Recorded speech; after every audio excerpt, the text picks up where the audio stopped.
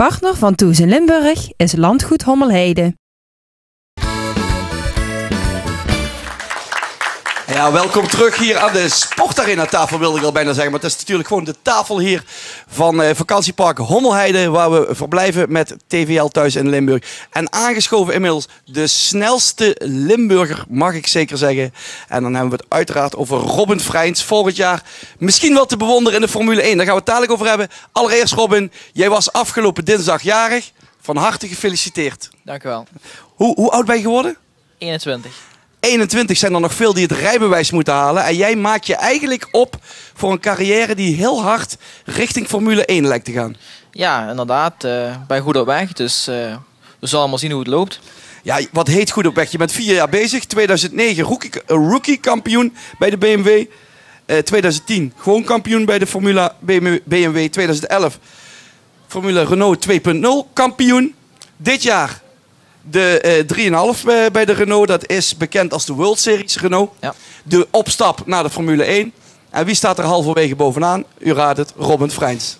Ja, nooit verwacht natuurlijk. Eh, als je ziet wie allemaal deelneemt aan de kampioenschap. Gelijk Sam Bird en Bianchi allemaal. Jongens die ondertussen 25 jaar zijn en die al een contract hebben bij Formule 1 teams. Die ongeveer testpiloot zijn. Dus ehm, ja, ik had verwacht... Als ik eind van het seizoen een top 5 kan meedraaien, ben ik al lang tevreden. Maar ja, nu zijn we alleen van de kampioenschap. Maar ik heb al twee wedstrijden gewonnen, dus eh, ik had echt nooit verwacht. Je staat 10 punten voor op diezelfde eh, Sam Bird. Je zegt ik had het nooit verwacht. Heel Nederland is nou wakker aan het worden en begint te weten wie Robin Freins is. Merk je dat ook? Ja, ik sta nog steeds meer in de media. Ik sta in, eh, steeds meer boekjes. Eh, laatst vond ik in een AD heel erg groot. Dus eh, ja, dat is Ja, natuurlijk ik- altijd leuk om te zien. Heb ik hier, dit is het AD-stuk. Daar staat dus heel duidelijk in: ik stap niet voor één jaartje in een Ferrari. Wat bedoel je daarmee? Ja, dus nu dat Alonso zo goed gaat en Massa in principe zo slecht. En ehm, ze zijn aan het discussiëren om Massa voorjaar te laten vervangen. En, en dat Bianchi in de Ferrari Development Program zit. Dus in, de jong, in het talentenprogramma van Ferrari. En ze mij ontdekt hebben, zo, zo ongeveer. Dus ze vinden mij al heel erg interessant. Maar ja, als je naast Alonso stapt, is ik vind dat persoonlijk de beste rijder die op het veld rondrijdt op het moment. Ja, hij is niet de wereldkampioen. Nee, nog niet, maar dat gaat wel snel komen, denk ik. Ja. Maar je stapt dus eigenlijk niet in omdat je niet zeker bent dat je na een jaar dan nog steeds Formule 1 kan rijden. Ja, daarom eh, als je naast Alonso eh, stapt, you know, die, die, die, is, die is zo goed. En die kun je wel heel veel, heel veel van leren. Maar hetzelfde als Massa nu. Ja, die, die, die rijdt zoveel achter en eh je rijdt met dezelfde auto rond. Dus dat doet wel in principe een beetje pijn. Maar het is niet het enige team wat interesse in jou toont. Dat zijn meerdere teams. Je hebt zelfs al even mogen ruiken aan de Formule 1 auto. Ja, inderdaad. eh, de deal was voor seizoen, gelijk, hetzelfde gelijk eh vorig seizoen.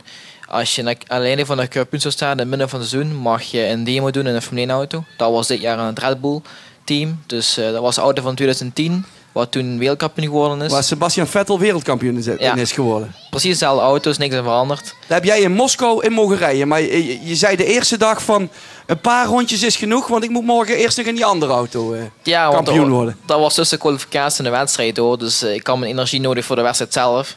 Want ik had echt verwacht dat het eh, wel heel pittig zou zijn om een paar rondjes te rijden. Maar dat viel op zich al wel mee. Dus.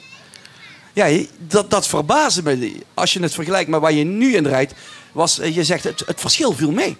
Ja, omdat eh, de World Series nu al een, een- al een pittige auto is. Ik bedoel, ehm, Ik heb je- er trouwens een mooie foto van. Praat gewoon door. Maar dan zien de mensen thuis ook. als je ziet eh, Formule 1, de rondetijden van de Formule 1 in de wedstrijd zijn even snelste rondetijden als ons in de kwalificatie. Dus dat is al eh, redelijk snel. Alleen in de kwalificatie rijdt Formule 1 ongeveer 6, 7 seconden sneller. Omdat ze dan eh, geen benzine hebben. En in de wedstrijd moeten ze dan vol benzine gooien. Dus dat is wel een heel groot verschil. Maar eh, ik had de stap in principe groter verwacht, ja. Ja, daar sta ik van te kijken dat hij net zo snelle rondetijden neerzet. Ja, dat ik in Barcelona voor het eerst gezien. Omdat wij dat getest hadden. En eh Formule 1 toen naar wedstrijd hadden gereden een paar weken geleden. Dus toen heb ik even gecontroleerd wat voor tijden ze reden. Je had het net over het stuk in de AD. Daar zet je ook in, en dat, dat vond ik heel mooi om te horen. Jouw kracht is niet alleen dat je hard kan rijden, uiteraard. Maar je kan ook vooruit denken. Je kan met een paar dingen onder de race tegelijk bezig zijn. En je had daar een hele mooie anekdote van. Ja, dat was de eerste wedstrijd in, eh, in Motorland. Eh, jammer genoeg moest ik toen 12 vertrekken omdat de motor kapot ging in de kwalificatie. En ja, ik moest terug naar voren rijden en ik zat midden in het pakket. En uh, toen vroeg het team met mij hoeveel DRS-tijd je nog over had. En ik zei tegen het team van ja, wacht Voor, even. voor de kijkers die dat niet weten, DRS? Dat is uh, de, de achtervleugel wat ook in het Formule 1 open gaat. En Ja. bij ons gaat dat met tijd. Met uh, Formule 1 gaat dat met uh, lijnen als je één seconde achter iemand rijdt. Maar wij hebben iets van uh, 700 seconden die we kunnen gebruiken. Als het op zijn, doet hij het ook niet meer. Dus dan moet je echt zorgvuldig mee omgaan. Maar uh, ja, ik, stond, uh, ik was met een gevecht met twee andere mensen. En ik zat met drie naast elkaar. Dus ik zei tegen het team van uh, wacht even. En ondertussen die twee man ingehaald. Toen zei de tijd. En ja, het team uh, vond het natuurlijk geweldig. Dus on, je zat er tussenin. Je was er tussendoor het manoeuvreren. Je zegt wacht even, hier gaat ze voorbij. Je komt de bagger. Je dit en dit. En gewoon business as usual. Ja, dat was wel uh, het gesprek van de dag een beetje. Dat is fantastisch. Je had het net dus ook over Motorland, die, uh, die anekdote. De prijs daarvan, de, de, daar haalde je ook de eerste plaats, uh, de eerste van dit seizoen dus binnen. Speciaal dan, of niet? Als je dan weer voor de eerste keer in die nieuwe klasse ook weer bovenaan staat. Ja, natuurlijk als je van tevoren aan het denken was van ja, top 5, eind van het seizoen zou mooi zijn. Als je dan in de eerste weekend naartoe gaat en je bent direct redelijk snel. Uh, je bent de eerste wedstrijd word je derde van P12 af en de tweede wedstrijd uh, win je met uh, zoveel seconden los. Ja, dat had natuurlijk nooit iemand verwacht. Ik zelf ook niet. Dat is echt geweldig. Ja, je doet het nou jaar in, jaar uit. Je droomt van die Formule 1 en toch ben je zo, ja, zo cool of zo slim om te zeggen: ik stap niet zomaar in. Nee, ik ben redelijk reëel in dingen wat ik kan doen en wat ik niet kan. En um, tuurlijk, als je in de 1 gaat stappen, wordt het altijd zwaar je zit bij de, bij de beste jongens die op de wereld rondrijden nu. Dus uh, ik moet nog veel leren. Het is niet zo dat ik uh, alles al geleerd heb. Ik ben nog steeds aan het leren dit seizoen. En ik maak nog steeds fouten waar ik nog steeds veel van leer. Dus uh, ja, ik moet gewoon kijken hoe het, uh, hoe het allemaal gaat. Het begint hier een klein beetje te waaien tussendoor, maar dat mag de pret niet drukken. Ehm, wat bepaalt dan of jij volgend jaar Formule 1 rijdt? Want dat zijn een aantal factoren. Ja, het zijn een aantal factoren. Je moet natuurlijk ook een beetje geluk hebben. Ze moeten plaats voor je hebben. Uh, je moet de markt achter je hebben staan. Ik bedoel, voor een Nederlander is het niet zo makkelijk. Omdat uh, de Nederlandse markt hier niet zo groot is als bijvoorbeeld China of, of Amerika of wat dan ook. Dan bedoel je met de multinationals uh, ja, van deze ja. wereld. Dus de sponsoren die het Formule 1 team kan, kan trekken. En dat is bij Nederland niet zo hoog. Maar dat is enerzijds de prestaties. Uh, de World Series waar je nou in rijdt, zijn eigenlijk de opstap naar de Formule 1. Nou, daar kun je het niet beter doen, want je staat, je staat eerste. Alles wat je zelf in de hand hebt, is eigenlijk optimaal. Ja, tuurlijk. Uh, alles wat ik, ik in principe doe, gaat allemaal uh, redelijk goed. En ik heb ook niks te klagen erover. Maar nu is het gewoon afwachten hoe het, hoe het gaat lopen met ja, de, de sponsoren en, en alle bijdingen. Geld bepaalt een hoop in de autosport. Bepaalt geld ook of jij in de Formule 1 komt te rijden? Ja, natuurlijk speelt dat een hele grote rol. Um, Formule 1 is, is, natuurlijk niet zo goedkoop als je voor de eerste keer instapt. Daarna kun je wel uh, veel ja, geld verdienen daarin, als je erin blijft. Maar voor, de, uh, voor de eerste jaar in te komen is altijd heel erg moeilijk. Ja, dat geldt vooral volgens mij uh, bij de laagste teams. Is het de hoogste, instapprijs, want die moeten het daarvan hebben ja. waarschijnlijk. Ja, die, uh, daar betaal je al makkelijk uh, 8, 9 miljoen voor, voor een jaartje mee te mogen rijden. Zo. En uh, ja, als je niet goed, goed genoeg bent, dan is het volgend jaar weer gedaan. Ja, en bij die, bij die andere teams heb je ook kans om met veel minder uh, een plaatje te verwerven, puur op basis van je kwaliteiten. Ja, ja daarom. Dus uh, ik, ik ben niet op aan het kijken naar de laatste drie teams. Ik ben echt op focus op het middenveld ongeveer, waar je echt veel kunt leren en waar je fouten kan veroorloven. Ja, nou heeft uh, dingen, Vettel zijn, uh, zijn team Red Bull is ook al, uh, heeft ook al verschillende keren aan je getrokken, maar daar, daar word je ook warm nog koud van. Ja, ze zijn al twee keer naar me toegekomen, het Red Bull, Red Bull team zelf. Um, ik heb daar een twee keer nee gezegd, puur in de zin omdat die, hoe ze werken mij niet echt ja, goed staat. ik dat is één persoon die, die, die die jongens moet aantrekken, dat is, ligt in het hele circuit niet. Ja, die, dus, die Helmut Marko is de, de baas zeg maar, van het talentenprogramma van Ja. Red Bull. En uh, ja, daar kan ik niet zo goed mee overweg. Het is, uh, ja, het is niet dat ik die man persoonlijk ken, maar uh, hoe die te werk gaat, dat is niet, niet precies mijn ding. Dus ik probeer gewoon mensen te zoeken die, waar ik in vertrouw. En ik heb veel mensen om me heen die, die, die vertrouwen in me hebben. En dat geeft mij gewoon veel kracht. Dat is belangrijk voor je. Je moet je lekker voelen in, met de mensen om je heen, het Ja. team. Dan Ja. kun jij presteren. Ja, ik heb ook al, al die jaren die creatief zelf uitgezocht. Als je bijvoorbeeld in Red Bull zit, dan, eh, dan moest ik dit jaar bij Arden rijden. En als ik ja, niet naar mijn zin in Arden, dan ga je ook niet snel. Dus ik heb persoonlijk gekozen voor Vortec. Ja, en ik voel me goed in het team en alles loopt goed. En ja, je ziet het resultaat. Ja, absoluut. En ik hoop dat de, de Limburgse grotere bedrijven ook wakker worden. Want deze jongen gaat absoluut naar de top eh, in de, in de Formule 1. Daar train jij ook ontzettend hard voor buiten het circuit. Want eh, ik heb net eh, vernomen wat jij eh, wegdrukt. eh 60 kilo schoon aan de haak bij jij. Maar je drukt veel meer weg, hè? Ja, ik doe veel, veel trainen met eh Ruud Granseer. Die is Nederlands kampioen bankdrukken. Dus die pakt wel meer als mij. Maar ja, dus ik pak met squat ongeveer nu 80 kilo. En eh, ik ben echt lang niet daar waar ik wil zijn. Dus ik moet nog steeds, steeds meer blijven trainen. En natuurlijk, als ik vorig jaar zover is en ik stap in Formule 1... Dat wordt steeds zwaarder en zwaarder. De wedstrijden worden steeds langer en langer. Dus eh, je moet altijd blijven trainen. Die krachttraining is eh, echt belangrijk. Zonder krachttraining gaat het niet? Of Nee, zonder krachtraining gaat het echt niet. Het is echt zwaar. Want iedereen denkt van ja, je, je, je zit en je blijft zitten en eh, voor de rest gebeurt er niks. Maar je hele, hele lichaam moet echt werken om, eh, om je recht te houden. te vergelijken met voor de kijker als je een keer, eh, één keer per jaar gaat karten. En dan twee of drie keer gaat karten en dan de spierpijn de dag daarna. Ja, mijn, mijn vader heeft dat ook toen, toen eens gedacht. Die, die denkt van ik ga ook eens karten. Die heeft toen een twee weken plat gelegen van spierpijn. Terwijl ik nog aan het rijden was toen. Dus dat geeft wel een voorbeeld. En eh, ja, je bent er wel mee, mee opgegroeid. Dus de spieren die weten wat ze, wat te wachten staan. Maar dan nog, dat geldt stel eh, voor mij vorig jaar. Mijn spieren weten niet echt wat te wachten staan. Dus het is steeds moeilijker en moeilijker en pittiger en pittiger. Ja, ik, ik ben in één keer aan het bedenken. Ik zie je hier zo, zo relaxed, zo rustig zitten, zo wel overwogen. Verander jij in die auto?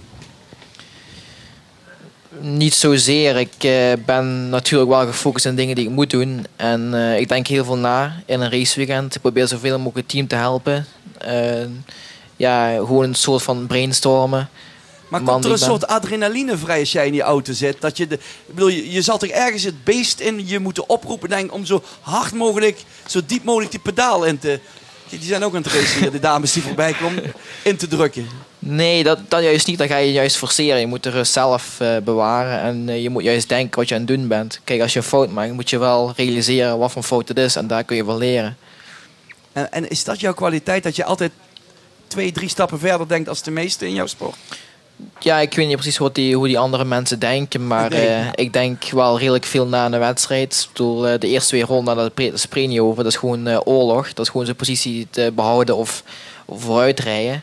Maar daarna moet je gewoon nadenken hoe de wedstrijd zich zal verlopen. En daar ben ik wel redelijk sterk in. Ja, toch laat je je de kaas niet van het brood eten. Je had het straks over Sam Bird, is nummer 2 in het kampioenschap. Testrijder al bij Formule 1. Al iets ouder als jij. En die denkt, daar komt die snodaap uit Nederland. Eh, die, die, eh, die ga ik eens aan de buitenkant voorbij. Maar dan zet je hem er gewoon eh, tussen. Hè? Ja, dus ongeveer de gouden regel in autosport buitenom is meestal daarnaast. En het geldt hetzelfde bij mij. Ik hij probeert het buitenom en ik doe er gewoon van de baan af, want ik ben dan de baas over hem. Hè, want ik zit binnenkant. Ja, en daar was hij echt heel blij mee. Ik kwam ook na de wedstrijd naar mij toe voor te, ja, zo van klagen van uh, keer niet meer doen en, en zo. Ja, en ik zeg gewoon dat is racen, dan moet je mij gewoon op binnenkant proberen te halen, maar de volgende keer doe ik gewoon weer. Die gaat dat niet meer proberen buitenom, denk ik. Nee, daarom. En, Maar dat eh, is topsport, of niet? Ja, dat is ook topsport. Ik bedoel, als je iedereen voorbij laat gaan en dan weet iedereen van, oh, die is makkelijk. En ik ben eh, totaal niet makkelijk in, in het racerij zelf. En dat weet onderhand nu iedereen. Wanneer ben jij tevreden over een half jaar?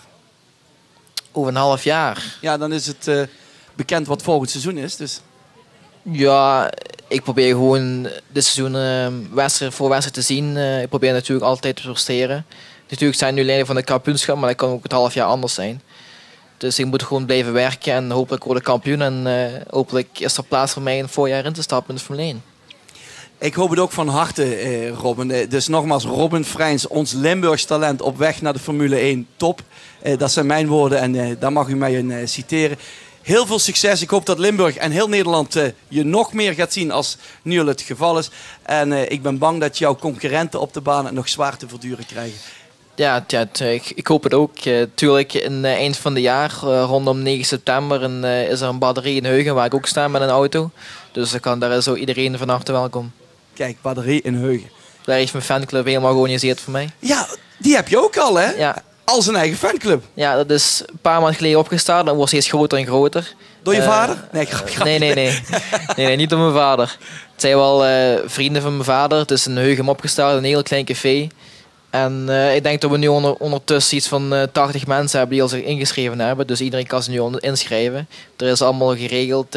petjes van mij, t-shirts. En ze gaan met een bus allemaal naar de wedstrijd kijken. Dus Eigen allemaal, website, robinfrijns.nl. eh, nee, dat is mijn eigen website. Ze hebben zelf een eigen website. Dat is gewoon robinfrijnsfanclub.nl. Oké. Dus kan iedereen om kijken en, en ook inschrijven. Dus dat is altijd wel leuk. Heel veel succes in ieder geval. Dank u wel.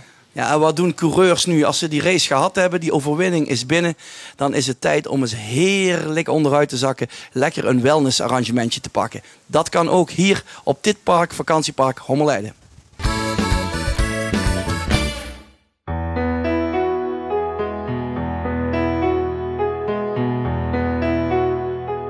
Hier is eigenlijk eh, voor ieder wat wils. We hebben dus eh, een zwembad voor eh, de kleintjes eventueel. En ehm, we hebben dus een wellnesscenter of eventueel een beauty- en massagesalon voor de ouderen. We hebben dus een zoutgrot, we hebben een odorium waar we in kunnen ontspannen. We hebben douches met scrubzout, een feng shui sauna en een infraroodcabine en een Turks stoombad. Zoutgrot is een eh, ruimte om in te ontspannen met een eh, heerlijke temperatuur van ongeveer 28 graden. Vandaar dat eh, wij er ook heel trots op zijn dat wij dus een zoutgrot hier hebben. En onze gasten zijn er ook heel erg tevreden over. De voordelen van het zout is maar, dat het een positieve werking heeft op bijvoorbeeld huidaandoeningen, allergieën en de luchtwegen. Dat is de infraroodcabine. De infraroodcabine is heel goed voor de gewrichten en voor de spieren. En daarbij ook heel goed voor de doorbloeding.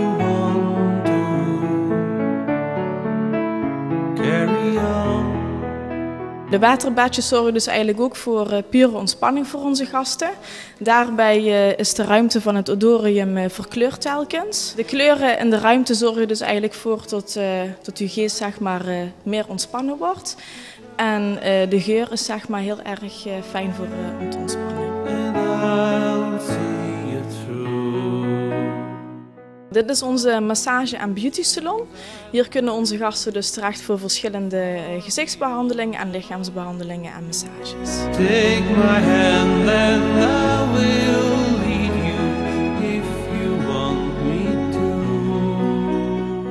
Ik heb hier toch voornamelijk met eh, vakantiegasten te maken. Ze zijn allemaal heel goed gezind en eh, ja, ze vinden het fijn om hier te zijn. En ja, wij vinden het dan eigenlijk ook heel fijn om de mensen te helpen met een fijn verblijf hier bij Omheide.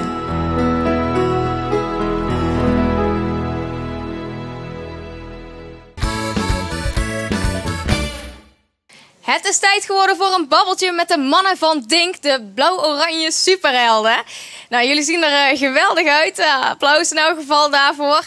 Maar eh, ja, de, ik noem jullie wel de mannelijke eh, K3, de hele uitzending door. Maar ja, mag dat? Dat mag zeker. Vinden wij niet erg, toch mannen? Geen enkel probleem. Gelukkig, Als we ooit ook dat mogen gaan worden, wat de dames hebben bereikt inmiddels, vinden wij dat absoluut niet erg. Nou, kijk, met die outfits en zo eh, ziet het er in elk geval al spetterend uit. Maar vertel, want eh, ik neem aan eh, dat je niet 1, 2, 3 bedenkt dat je zo dit gaat doen. Nee, absoluut niet. Als inderdaad een jaar of 15 geleden gezegd van jullie gaan ooit kinderliedjes maken, had ik gezegd van nee, daar geloof ik helemaal niks van. Maar dan toch denk ik een jaar of 7, 8 geleden, eh, toen waren we inmiddels gestopt met eh, ons toenmalige repertoire. We zaten eigenlijk in het rockgenre. En dat was voornamelijk eh, covers van Smashing Pumpkins, Pearl Jam, et cetera. Later gingen heel veel eigen nummers opnemen. Dus een stuk of 4, 5 cd is eh, uitgebracht in die tijd, allemaal in eigen beheer. En op een gegeven moment, ja god, dat is leuk voor jezelf, maar de mensen zitten daar niet te wachten. Mensen willen geëntertained worden, dus of een goede coverband of totaal iets anders. Dat wilden we toen allemaal niet, dus gewoon ermee gestopt. En denk een jaar of twee na dato, toen eh, ja, de drummer eh, had al iets, iets oudere kinderen. En eh, die gingen altijd naar de Sinterklaasmiddag bij ons in het dorp. En eh, ja, god, dat was toch niet helemaal, dat, dat kon beter, vond Barry. Dus Barry vroeg van, ja, kunnen wij daar niet iets mee? Kunnen wij niet gewoon de Sinterklaasliedjes, hè, de bestaande Sinterklaasliedjes, een beetje gaan oppimpen en dan daar gewoon de, de Sinterklaasmiddag ja, opleuken? En dan ga je kijken natuurlijk naar onder meer VUF de Kunst, het grote voorbeeld, voorbeeld in, dit, eh, in dit geheel. En eh, ja, zo gezegd, zo gedaan. Je gaat repeteren, je speelt. Heel leuk. Heel veel leuke reacties. Een jaar, later een dorp verder. Een jaar later nog een dorp verder. Tot op gegeven moment de vraag kwam van... ehm, eh, iemand ging een kinderdagverblijf openen. Vraag me even niet waar. was de vraag van... Kunnen jullie dat wat jullie doen met die Sinterklaasliedjes... niet ook met bestaande oude kinderliedjes? Ja, weer hetzelfde. Gaat weer zoeken. Luister naar VWF de Kunst. eh, zelf een eigen draai geven aan liedjes. Ja, daar ook weer gespeeld. Heel leuk. Maar dat was het plaatje vond ik nog niet compleet. Eh, we stonden daar gewoon nog in een spijkerbroek. En ja, kinderen ja, vinden wij moeten ook visueel geprikkeld worden. Ja, hè. En we verrichten ons voornamelijk op de peuters en kleuters direct. Ja, van 2 tot 7 jaar plus minus. En ehm, ja, toen kwam ik een beetje met het idee van, ja god, superhelden doen het altijd goed. Dus laten we gewoon ons eigen superheldenpak eh, creëren. En doen het dan vooral in de nationale trots, in het oranje, met de Devendink. En de rest een beetje afwerken met wat blauwe broekjes, capeje, hoedje, klaar.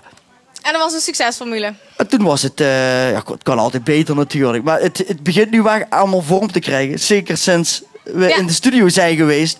Ja, het is nu echt af. En we kunnen nu ook inderdaad de kleine optredens doen. We kunnen nu hier spelen. En we hoeven niet alles mee te slepen. Want normaal, vroeger speelden we altijd compleet live. Met groot drumstijl, gitaarversterkers, noem maar op. En nu kunnen we ook klein spelen. Dus ook op communiefeestjes, verjaardagsfeestjes. Alles is nu mogelijk. Ja, want jullie hebben dus inderdaad een eigen cd uitgebracht. Mhm. Zijn het allemaal bestaande nummers of hebben jullie ook eigen nummers? Het zijn allemaal, eh, op deze staan er uit mijn hoofd acht. Ja, acht. Eh, er staan wel een paar medleys op. Dus in één nummer zitten dan vier, vijf nummers eh, verwoven. En eh, er staat één eigen nummer op, als je tot tien kan tellen.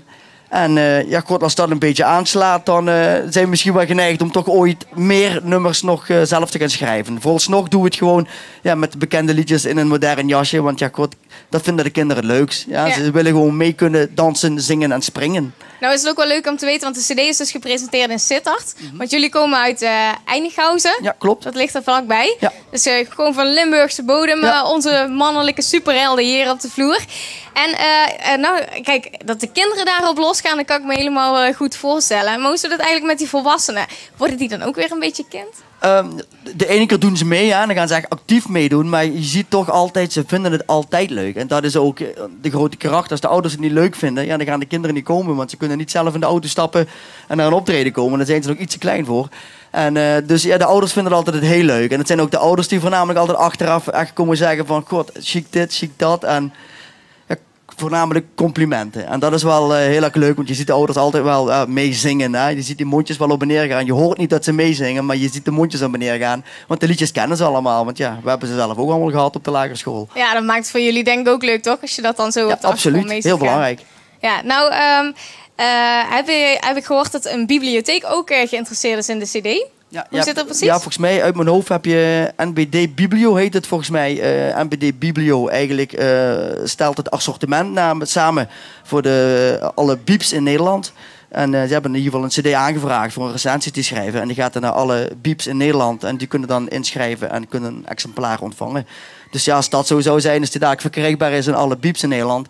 Ja, dat is voor je naamsbekendheid is dat heel erg goed. Dat is zeker leuk. Maar eh, de mensen thuis, die eh, kunnen we ook verrassen met zo'n cd, toch? Ja, tuurlijk, tuurlijk. Hij is sowieso te verkrijgen, altijd in Sittard. Sowieso eh, bij Music Machine in Sittard en bij de Free Record Shop in Sittard. Maar eh, de mensen kunnen winnen. En op welke manier? Want je hebt een prijsvraag bedacht. hè? Ja, we hebben een hele makkelijke, hele moeilijke prijsvraag. De vraag is namelijk, hoe heet het eigen nummer van de mannen van Dink? Ik zal er even over nadenken, maar als we goed op hebben gelet, dan moeten ze het toch weten.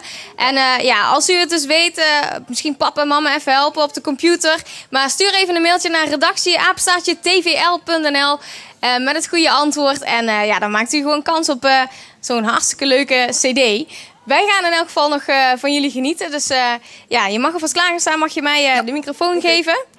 Dan geef ik ondertussen ook nog even een prijsje weg. Dankjewel. Want eh, namelijk eh, voor de oudere mensen onder ons, die kunnen ook nog een mooie prijs winnen. Namelijk het enige wat je dan hoeft te doen als je toch op de computer zit om eh, eventjes een mailtje te sturen voor die cd, is eventjes naar onze Facebookpagina te gaan. Daar staat een bericht over de stad Hasselt. En dan kunt u namelijk kaarten winnen voor Abdij Herkenrode. Dat is een plaats voor jong en oud waar die ja, hun ei kwijt kunnen. Hartstikke leuk om naartoe te gaan. Of misschien wel een mooie ballonvaart kunnen ze winnen. Gewoon eventjes op het buttontje like klikken.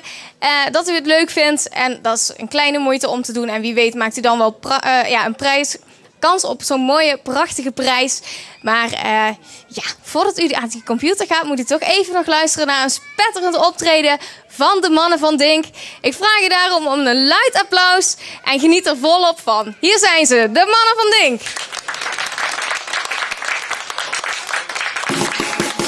Io, io, ja, pa, pa, pa. Ja, io, io, ja, pa, pa, pa. Als je tot tien kan tellen, dan is dat goed, is dat oké. Uit volle borst, oké. Als je tot tien kan tellen,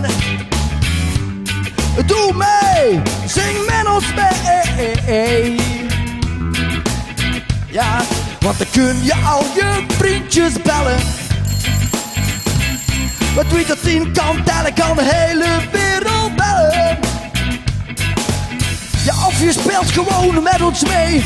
Ja, we doen een stappertje. En wie de weg is, is gezien. Ik tel tot tien.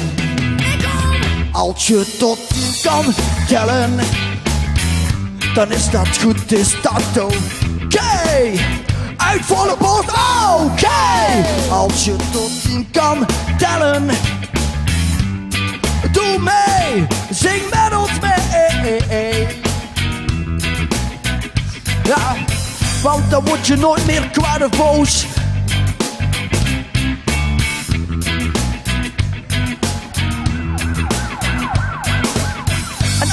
Je nooit meer kwaad of. Oh nee, geen ruzie. Want dan tel je gewoon de puntjes heel rustig tot tien. Als je tot tien kan tellen, dan is dat goed, is dat oké. Uit volle borst, oké. Als je tot tien kan tellen, doe mee, zing met ons mee.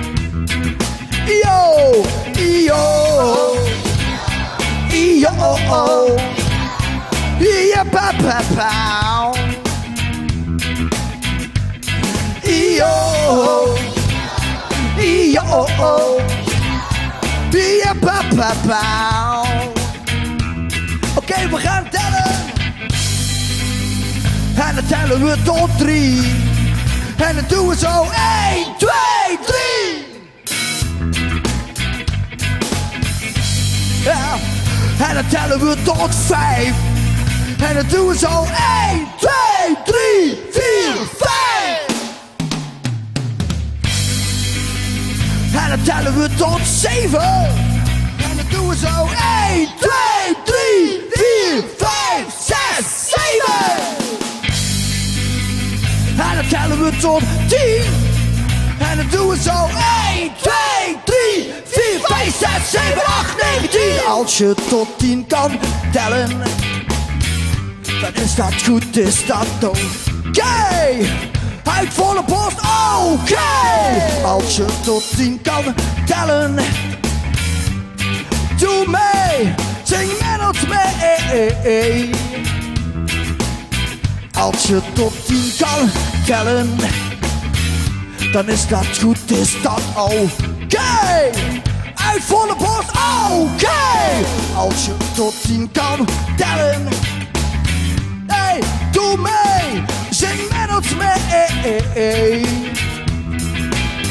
Als je tot 10 kan tellen, Ja, drie echte grote superhelden, de mannen van Dink. En morgen hebben we natuurlijk ook weer mooie muziek hier in de uitzending van Thuis in Limburg. En dat wordt gebracht door Jolanda Zomer.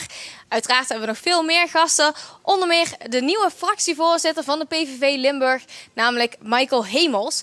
En eh, net eh, eh, terug van de Olympische Spelen is George Vossen. En die heeft er niet gesport, maar die heeft er muziek voor gemaakt en die komt daar alles over vertellen. Dus morgen zien we ook weer terug bij een nieuwe uitzending van Thuis in Limburg. Tot morgen!